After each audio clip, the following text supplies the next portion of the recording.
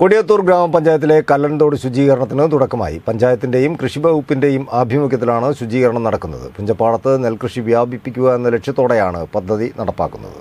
കൊടിയത്തൂർ പഞ്ചായത്തിലെ കല്ലൻതോട് ശുചീകരണത്തിനാണ് തുടക്കമായത്. പഞ്ചായത്തിന്റെയും കൃഷി വകുപ്പിന്റെയും ആഭിമുഖ്യത്തിലാണ് ശുചീകരണ പ്രവൃത്തി നടക്കുന്നത്.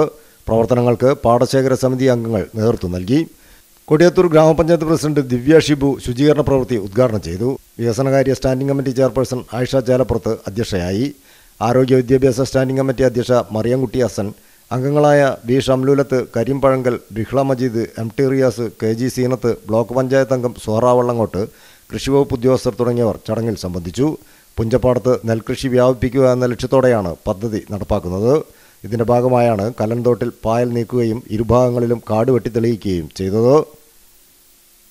News bureau Mukkam.